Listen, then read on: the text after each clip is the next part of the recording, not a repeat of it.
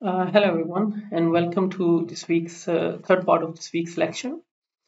In this lecture we are going to talk about different properties of fluids that are very important when we are designing uh, uh fluid flow systems, for example piping networks or pumping networks. So it is important to know what are different properties. Uh, so these are some of the properties that we will be looking at in the coming slides. But before uh, we look at the detail of these properties, it is important to understand the fundamental assumption we use when studying these properties in engineering, uh, not only for fluid mechanics, but for all the subjects of engineering. So that is what we call uh, continuum approximation. This might be the first time uh, you have heard of it. And uh, so let's look at it. What is continuum approximation? So a continua is the medium in which a transport process occurs.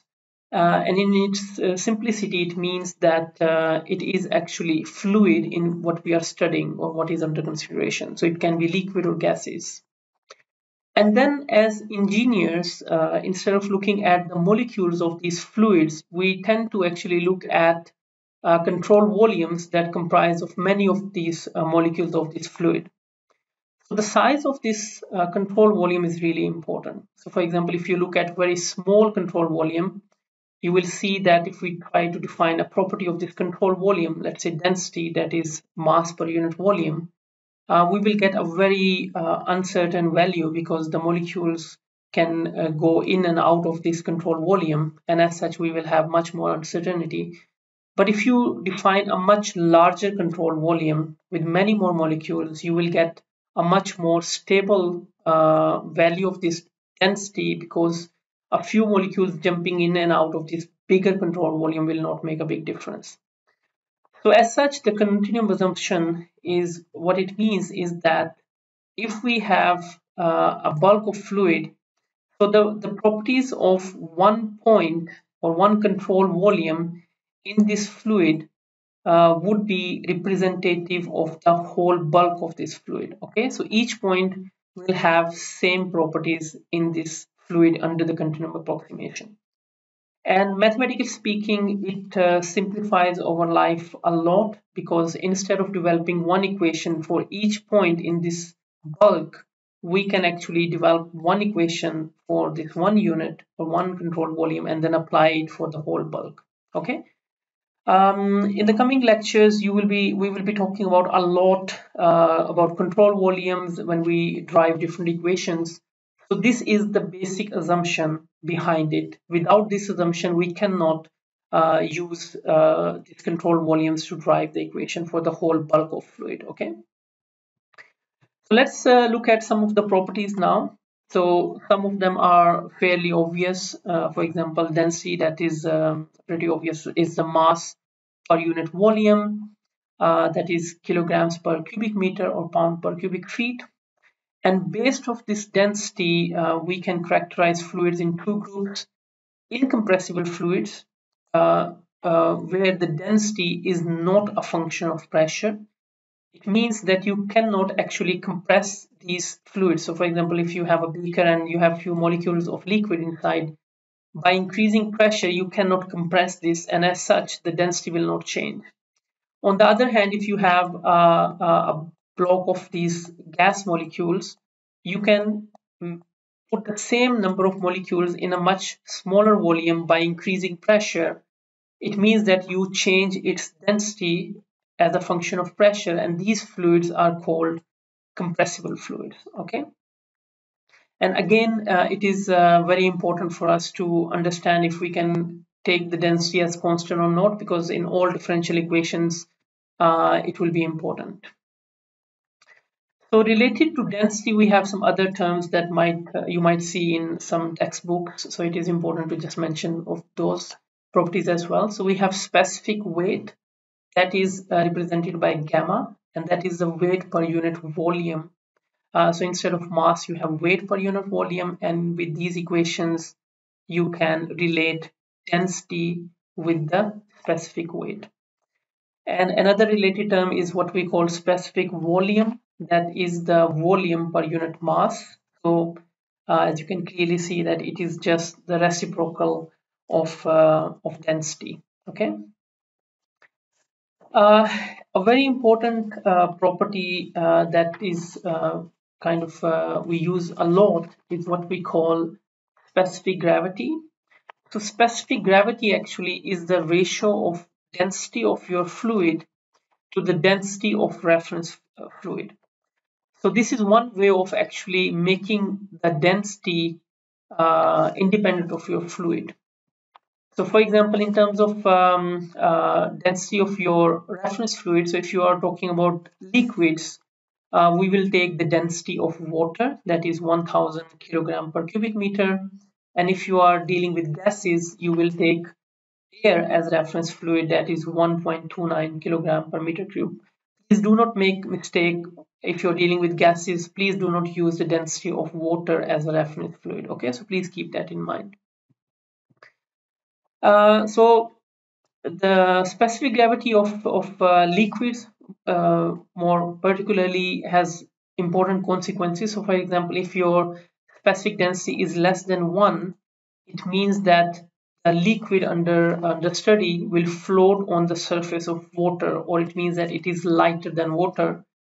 And for example, for the case of oil, so if you, for example, if you put uh, some water in a glass and then put oil, you will see that because the density of oil is less than water, it will float on the surface of water. So it means its specific gravity is less than 1. And as such, uh, we can actually use this effect for many applications. For example, um, oil spill. So we can control oil spill if, if there is a leak in, in sea from a oil shipper. And you can see that we can use these tubes, these absorbent tubes, and we can actually contain this oil um, uh, oil leaked region because the oil is actually floating on the surface of water. Similarly, when we are drilling oil, uh, we can use this effect or this consequence uh, and we can easily remove oil that is actually mixed with water. But because the density of oil is less than water, so it is actually floating on the surface of water. So we don't have to separate oil from water we can literally just remove it from the top of the of the water okay uh, then a very important term uh, that we will be using uh, a lot and, and we will be talking about it a lot in the coming lectures is what we call viscosity. Uh, it, you might have an intuitive sense of uh, viscosity. So for example, if you fill these three tubes with three different liquids, let's say you have water, water, um, you have glycerin and you have uh, honey, for example, so we'll see that and try to drop an object through these uh, tubes, you will see that the, the object will fall at different rate. And that is because uh, the effect of viscosity. So what is viscosity? Viscosity is, uh, or dynamic viscosity, in, in uh, as you will see in some books, is a property of fluid by which it resists uh, motion. And uh, we learned that um, for an ideal fluid, actually it does not resist shear stress and it continuously deform. But in reality, when the fluid is uh, flowing in between different layers of, of liquid, you have some resistance. And this resistance between the fluid is what we call viscosity. The difference between ideal fluid is that it does not have any friction between layers, but in reality, we actually do have friction between, between these layers of fluid, and that's what we call viscosity. So um, what it means that, for example, if you tip a jar of honey, you will see that it will flow much slowly while if you uh, tip a jar of water, it will flow very quickly. And that is uh, showing you that uh, the um, honey has much more higher viscosity and resistance to flow compared to water that has much less resistance to flow and as such less viscosity. Okay. And the reason we have this viscosity is because of the cohesion between the molecules. Molecules don't want to, um, for example, move for from their position of rest. And to to to let them move you have to uh, exert force. And that is what we call shear stress for example. And um, so when you um, for most fluids, uh, when you apply shear stress, it means that you apply a tangential force uh, on the surface of fluid. You will see that there um, is a proportional, linear uh, proportional shear rate. What is this shear rate? So you can uh, think of it as an example here, for example. So let's say you have a fluid element that is a real fluid. It means that it has viscosity. And you put it between a stationary surface and a moving conveyor belt. And at the surface that is stationary, the fluid element will have a velocity that is zero. But as you move away from this uh, stationary fluid and go to uh, the fluid that is in contact with this belt, you will see that the viscous the velocity of the fluid layer is actually increasing. It means if you plot it, and that is actually plotting here, for example, that is the same situation here. So here you have the stationary plate and here you have a plate that is moving with the speed u.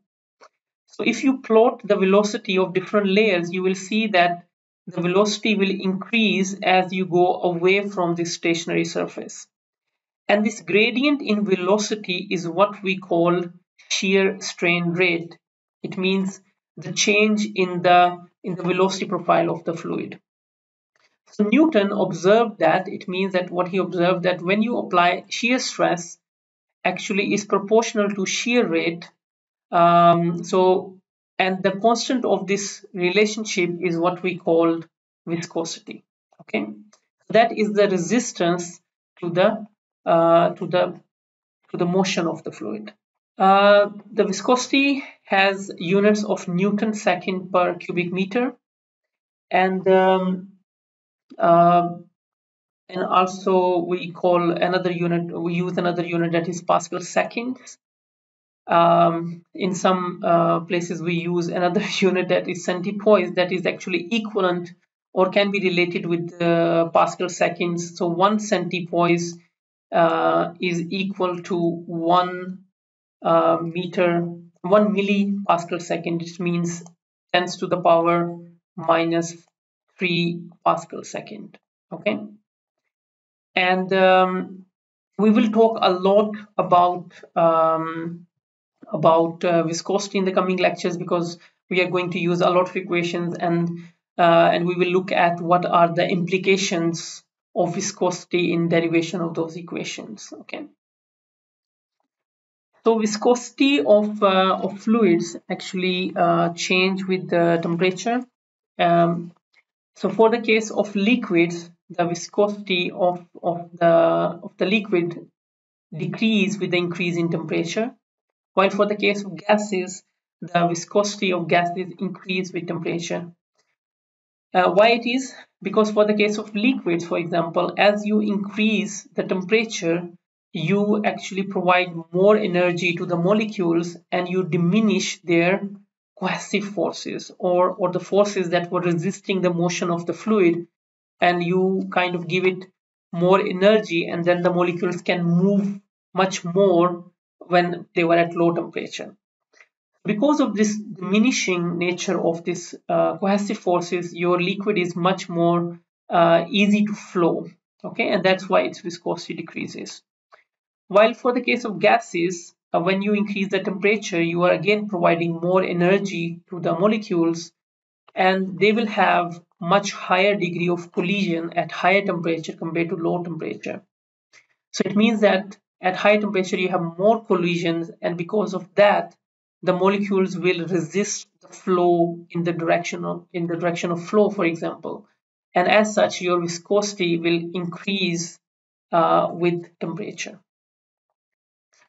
just to give you uh, some numbers, for example, uh, to, to visualize what viscosity is and how it varies with different fluids. For example, for the case of water, it has a viscosity of one centipoise. Okay.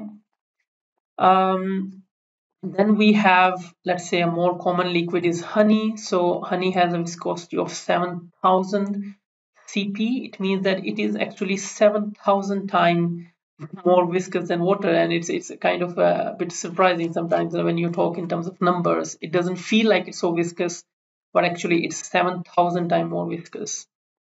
And then if you look at uh, ketchup and we are all familiar with ketchup not flowing out of bottle so it has a viscosity of almost 100000 and then really viscous fluids that is for example toothpaste that has a viscosity of 300,000 uh, sorry um, yeah 300,000 cp so it is 300,000 times more viscous than water. Okay?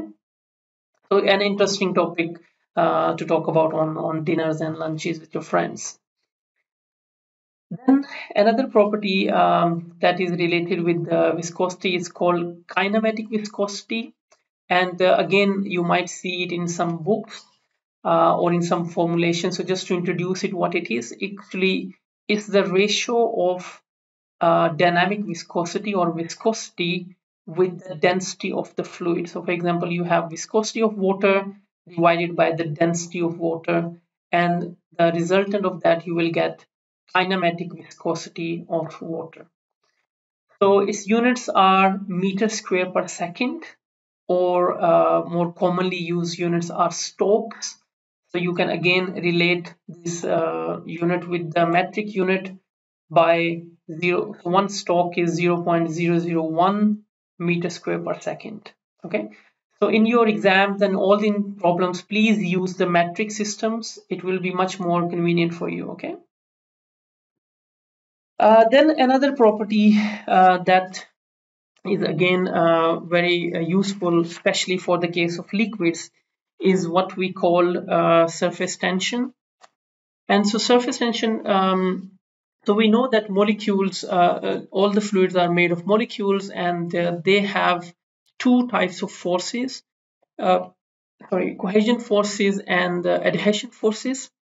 So cohesion forces are the forces between the molecules of the liquid. For example, um, for example, here you can see that two molecules of the in the bulk of the liquid, they will attract each other and these are what we call cohesion forces while if the liquid is in contact with another surface or air for example uh, in case of liquids if it is maintaining a free surface so that uh, interaction is what we call adhesion forces. It means that the ability of the molecule of this liquid to stick with the surface of this uh, material now, for the case of uh, for the case of liquids, for example, uh, in the bulk of the liquid, you will see that the cohesion forces are balanced. It means that this molecule, all all the molecules are actually in in a balanced state of um, of uh, forces, for example.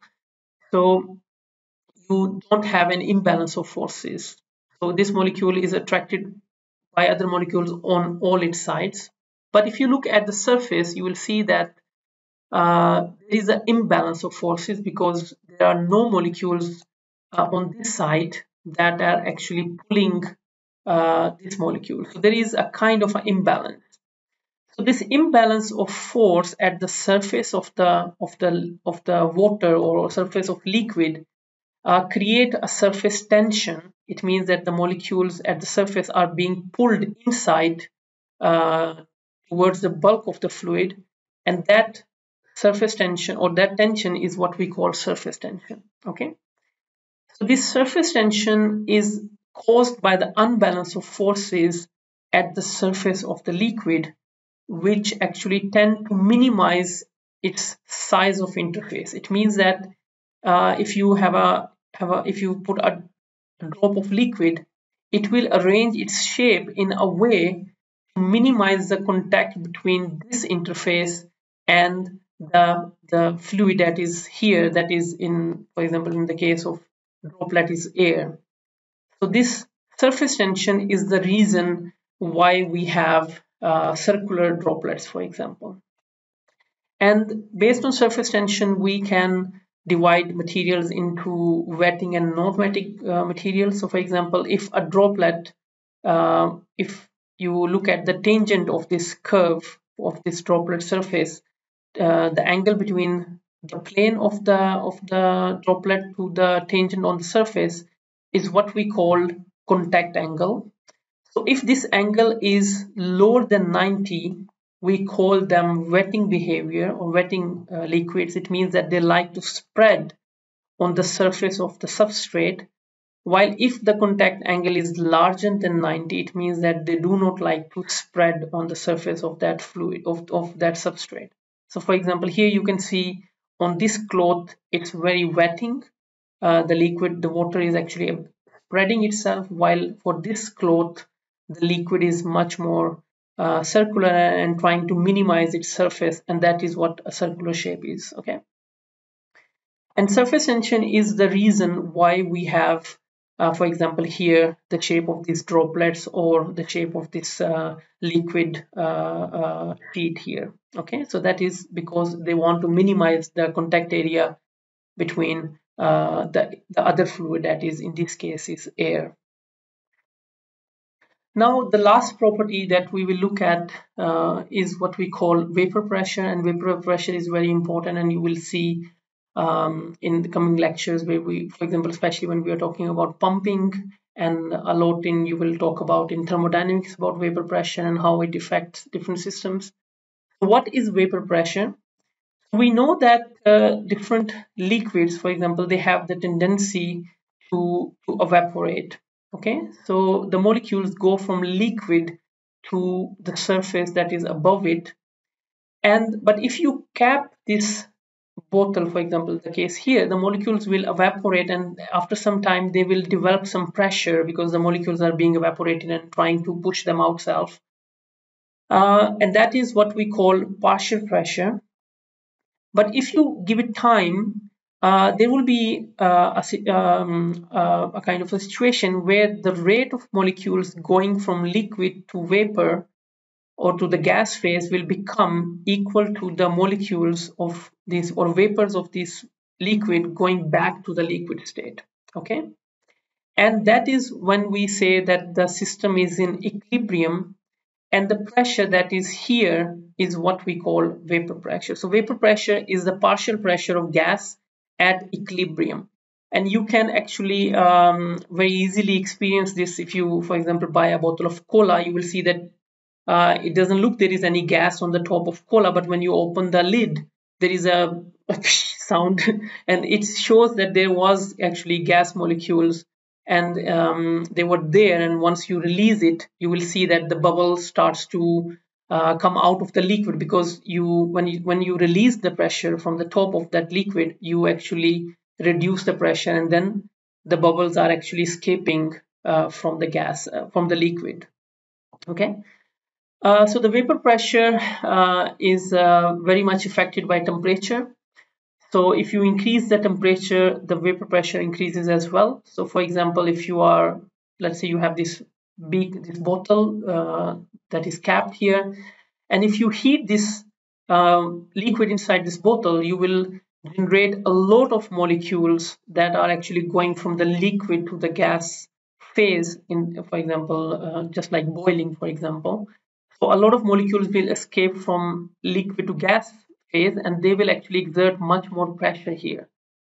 So when you increase temperature, you are actually creating much more pressure uh, on the top of on the surface at the top of this liquid okay and that is why the vapor pressure will also increase with the temperature and uh, you will see the um, uh, vapor pressure is very important for when we are looking at pumps and uh, different uh, systems like impellers and all these things because if you for example have a system and you have a impeller or, or a pump where you have sudden drop in pressure so the the gas molecules that are in the water actually will form these tiny bubbles uh, around the surface of this blade for example and when this high speed uh, blade will hit this bubble it will actually cause damage to this blade so in pump designing we are very uh, careful that uh, we never have a pressure situation that is below the vapor pressure of the liquid because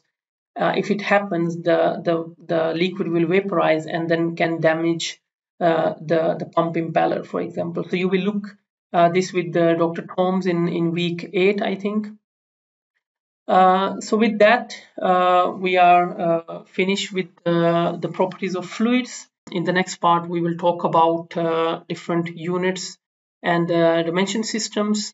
And uh, with that, uh, thank you so much for your time.